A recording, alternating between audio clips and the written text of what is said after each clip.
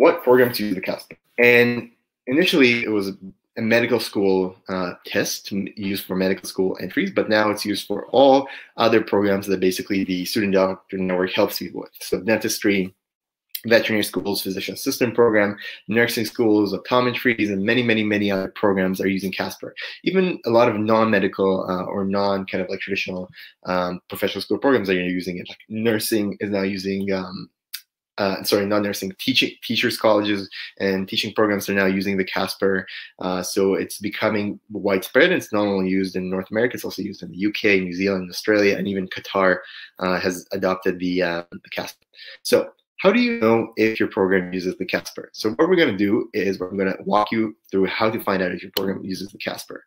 So what we're going to do is we go to this website, which is takealtus.com.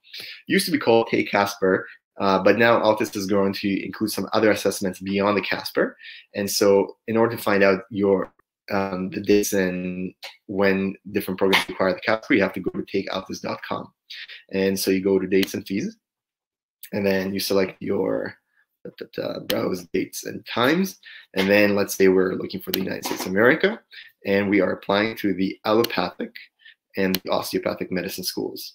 And you'll see the specific name Casper type, uh, when we take the Casper will be used for registration.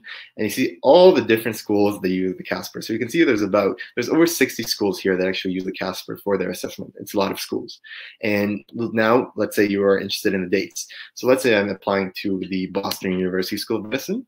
I'm applying to Harvard University School of Medicine and Michigan State University. Um, and so what we can do here is we're going to look at all the different dates that are used that the schools accept the dates for.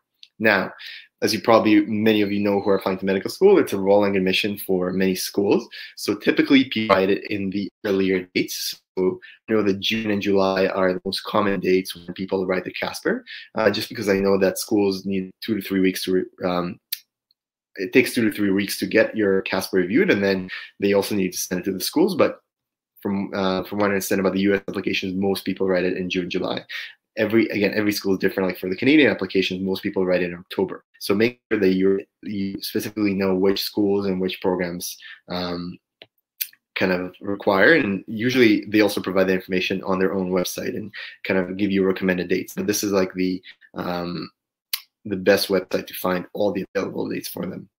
And once again this is not only for medicine. As you can see this is for also dentistry physical therapy pharmacy anesthesiology assistants, veterinary medicine. So a lot of programs are using this. So for example, lots of dental schools are now using it. Some veterinary schools in the United States are also using it. So it's becoming quite, quite popular. And let's go back to the presentation.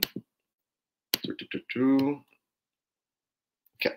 If you enjoyed this, click the thumbnail to watch the full video or visit Student Doctor Network to see the free resources we have available to help you become a doctor.